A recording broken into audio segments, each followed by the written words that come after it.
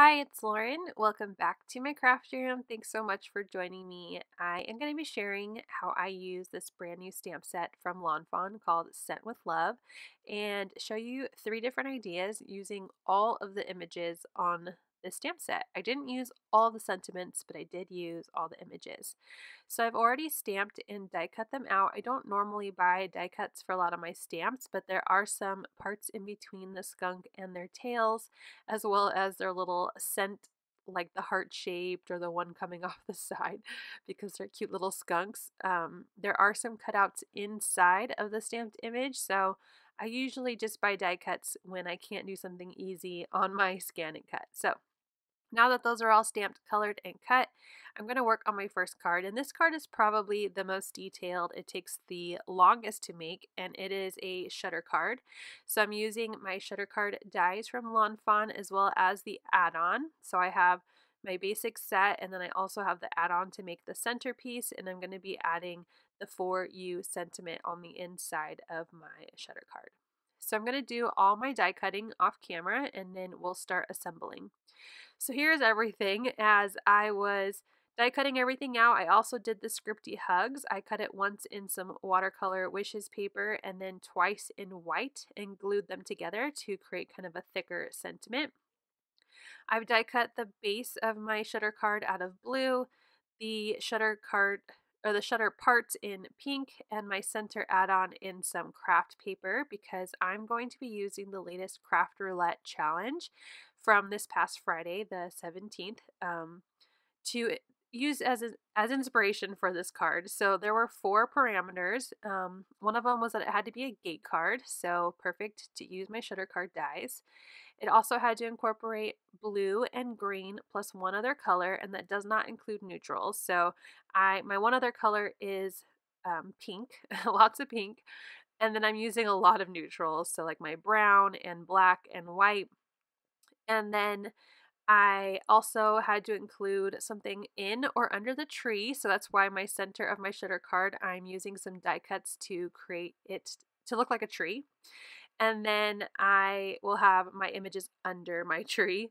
And then finally, you have to have something tied. So I will be using some twine later on. So for my centerpiece, because I'm, you know, making it look like a tree, I cut it out of some craft paper and I'm using some Distress Oxide inks and just creating some shadow and dimension on the card by doing some distress blending as well as some splattering just to give it some unique look like you would see on a tree. I'm going to set those aside to dry while I add some metallic splatter to my pink pieces. So this is the shutter part as well as the band or the belt that goes around my card once it's closed. And I'm just using some pink metallic watercolor to splatter on and then I'm going to use a paper towel to pick up excess water and then I will set these aside to dry as well. So now we could start kind of assembling everything. I die cut my treetop, as you can see here, using the shutter die, that center rectangle, as well as a cloud border, and that was used to create my little tree top. And then I'm going to add the For You sentiment, which was die cut out of white paper, to the center of my card, which will be seen when the shutter opens. So I'm placing the top of my tree just so I can make sure I'm not going to accidentally cover my sentiment. So there we have For You in the center of that brown piece, which will be glued directly to the inside of my card. But let's start assembling. So I've die cut this out of some blue cardstock and I accidentally got a little splatter on it when I was splattering, which was kind of a bummer. but I also die cut some of clouds. So I don't know if you saw this earlier. I used the On the Cloud stamp set and um, I'm going to use those to cover that weird wonky spot that I think I got while splattering. I'm not really sure what happened there. Um, and then it took me quite a while to figure out how to put the shutter card together. I was like, wait a minute, I'm not doing this right. So then I remembered, oh, that's right. You put it in the corner, you fold it over, and it picks up the glue. There we go. So I'm die or I'm gluing on my two shutter pieces. So I did the left and I'm just going to repeat the same thing on the right, making sure that they are lined up and overlap correctly based on Lawn Fawn's instructions for this die. So I found that my card was kind of sideways. Um, the two flaps overlap more on the bottom than on the top. So I'm just going to use my bone folder and just try to fix those creases so they meet in the center on the top and bottom without any major overlapping.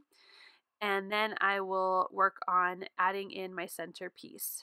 So I'm going to glue down my center piece here on the bottom only. So for adhering these pieces, I'm using a little bit of um, tape, adhesive tape. What am I thinking? Double-sided tape, and then also a little bit of wet glue. I don't know why I'm paranoid about these cards falling apart, but I am. So having two, two layers of glue there I think is good.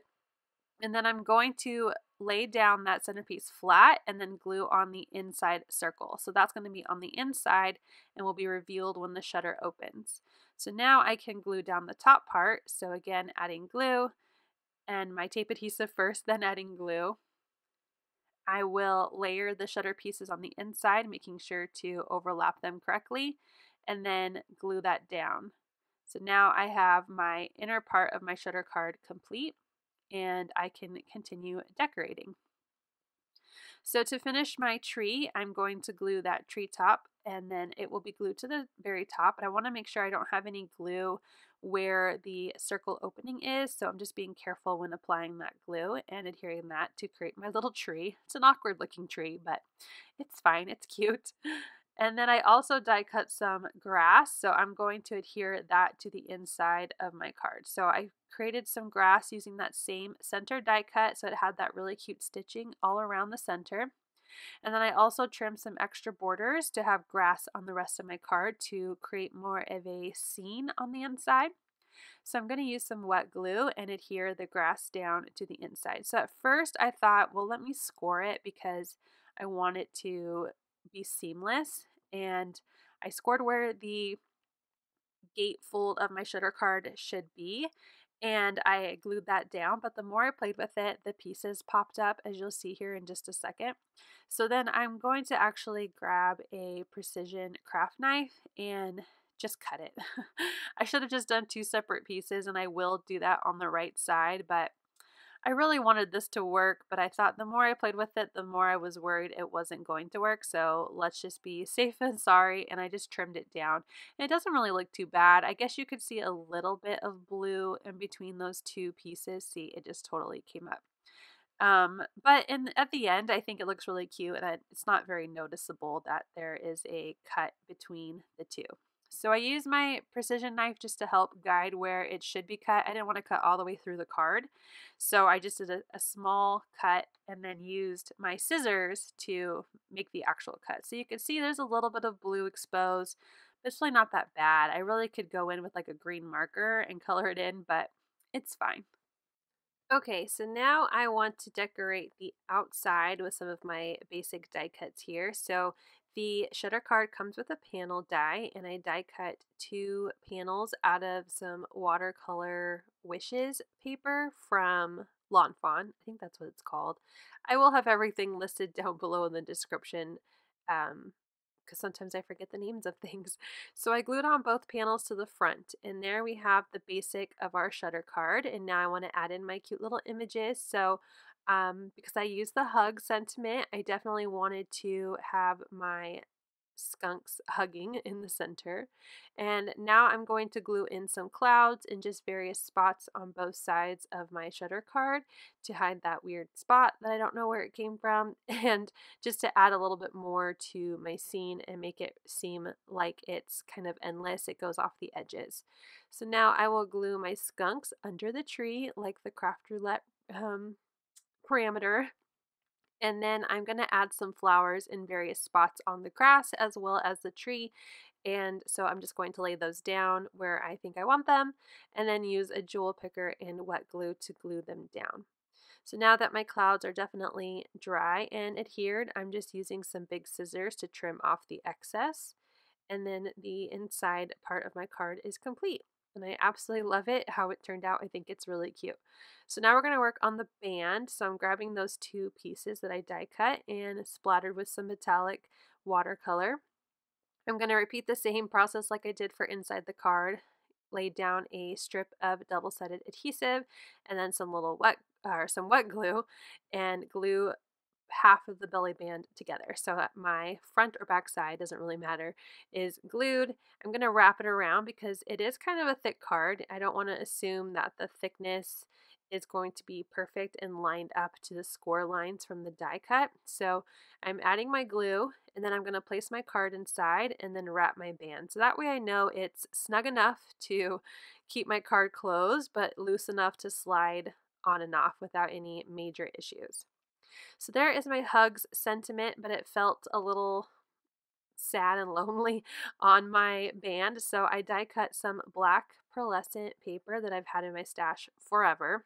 And then I cut some twine and I'm going to wrap it around the band as well. At first I thought I was going to do a little bow, so that's why you see it there in a bow, but I'm going to wrap it around first. So I'm going to use some mint tape to help me hold my twine in place just so that way I know it's um, even like on the left and right pretty much and then I can wrap it around. So I'm going to glue my black circle on first I'm just adding glue to the center so that way I can add it to the center of my band and without worrying about getting any glue on my card which I probably could have just taken the band off and done this but I liked having the thickness of my card in there so I knew exactly um, how to tie my little bow.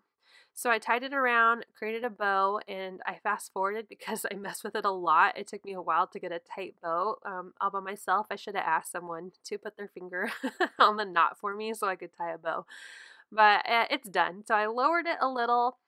I was going to do it centered, but then with the sentiment above, above the bow, it looked kind of weird centered. So I brought the bow down a little bit. And then I'm just going to use a glue dot and I'm just going to secure the bow to that glue dot onto the black cardstock. And now I don't have to worry about it moving around too much. Here is my hugs sentiment. I'm going to add some glue to anywhere where it will overlap onto the black circle. And then I will glue that down to my band of my card. And it's kind of off to the side, which I think is cute and it just looks really fun. So it's a cute little hugs sentiment on my band. And then when you open up the card, uh, you can see the cute little skunks inside hugging, which is perfect for the sentiment. And then it says for you. So hugs for you. Isn't this a cute little card? I loved the parameters this week for Craft Roulette. This card is a bit detailed, but it was really fun to make. So that is my first idea. So my second idea, I'm going to be using the Lawn Fawnatics Challenge, which is currently a sketch challenge to design my card. I die cut a bunch of hearts. Now, I these are from Heffy Doodle, they're not Lawn Fawn. Um, mostly because I don't have the money to buy basic shapes at every single company. So I'm using the hearts that I have. I'm going to be using some polka dot in the dark. It's a really cute heart pattern on some, I wouldn't say black, but more of like a really dark gray color. So I die cut that using my largest stitched rectangle and then I'm gonna um, just layer these hearts. I die cut seven red hearts or pink hearts and um, just gonna layer them on my background so that it matches the sketch challenge. Um, as best as possible. I know it's open to interpretation, but I liked how the stars were laid out in the sketch, so I wanted to create the same look with my hearts. So I used some scratch paper because I didn't want to get glue on my mat, which I'm glad I did as you saw, it got stuck. And once my hearts were dry, I'm just going to cut off all the excess, and there I have my background. So I have some sentiment stock from Pear Blossom Press. This stuff is so awesome. It's like a true black. It's super thick and great for embossing on. So I'm going to grab a sheet of that and then I'm using my longest simple wavy banner to create my sentiment. So I'm just going to trim off. I am very frugal with my sentiment stock um, because it's so nice. I don't want to just willy nilly use it. So I trimmed a strip that I knew would fit my banner die, and now I'm going to work on aligning my sentiment to fit the banner die. And I'm just going to use a clear block and then use the edge of the die to help me curve my sentiment. It doesn't end up perfect the first time, so I kind of fast forward. I just do my best and I hold it up and make sure I'm using a clear block with my clear stamp so that way I can see and make sure that my sentiment will curve with my die cut. So I started the process of embossing, and right here is when I realized wait a minute, I should die cut that first. So I ran my piece of the die cut, added some more anti static powder, and then I'm inking up my sentiment with Versamark so I can emboss. I'm stamping it as centered as I can onto my strip. And then I will grab my white embossing powder. This is a detail embossing powder from Ink on 3 Arctic White. These are my go-to because they are ultra fine. And I'm going to apply that to my sentiment and then use my heat gun to melt that down and create a really nice white embossed sentiment on some black cardstock, which I think will match really well with my background and my cute little skunk. So I'm using a Swiffer cloth just to wipe off any powder on my desk, as well as any excess powder on my little wavy banner. So now I am going to play with the placement of my images. Like I said, I'm trying to use all of my images on these three cards, and I wasn't really sure how I was going to use the banner. I thought I was going to use it on this second card, but I didn't like it, so I opened up my first card and I was like, wait, we would look so cute underneath that circle. So I'm going to glue that in in just a little bit. So now that I have what sentiment, or sorry, what images I want to use on this card, I can start gluing everything together. So I'm going to use a foam strip to glue down my sentiment. So I'm just using some super thin foam strips from scrapbook.com and I'm going to peel off the release paper and put it onto my card. Now the sentiment is a little wider than my A2 card, but honestly I think this is probably going to go to my husband. So um, instead of gifting it for or selling it for someone else to give. Um, so it's fine because I probably won't even put it in an envelope. So depending on what kind of envelope you have, if you're going to have your sentiment strip stick off the edges, you might need to make your own or just gift it without an envelope. And now I'm going to work on gluing my images. So my skunk on the left is going to have a little flower as well as my little letter with the XOXO sentiment from the set stamped onto it. So I'm just gluing these together. And then I will add foam squares to the back of everything, peel off the release paper, and then I'm going to put it on my card. I'm going to use my skunk on the right just to help make sure everything looks centered, my whole image, because I know there's a little bit more on the left than the right, but I wanted to keep my images centered so it's a little more pleasing to the eye, at least for me. I'm going to glue the little bow on my skunk on the right and then I will use some foam squares again to pop this one up and I will glue that onto the right. And finally, I'm going to just use some wet glue and glue this cute little heart stink thing. I don't know what you would call that, stink cloud coming up from the center. I just thought it was really cute. It could come from the rose, but also it could just be a cute little love smell from our skunks. And then I realized I didn't have a place for that cute little heart from the stamp set, so I'm just going to glue it directly to my skunk on the right. I'm going to put it in its hand, so that way it looks like they're exchanging something. So maybe the skunk on the right is giving away her heart to the skunk on the left with um, all of his Valentine presents. So I'm going to clean up my desk while that dries and I'm going to go ahead and glue that little banner onto my shutter card. I'm adding some wet glue and then just using my finger to tap some of it up because I know that it is really close to the shutter part of my card and I don't want to get any extra glue seeping out so something gets stuck that shouldn't be stuck. So there we go. That shutter card is done again. And then I'm going to glue my card for my second card here onto a card base. So just using some wet glue and a top folding A2 size card, I'm adhering those together. And then I wanted to add a little bit of shine to this card because I didn't do any splatter or anything.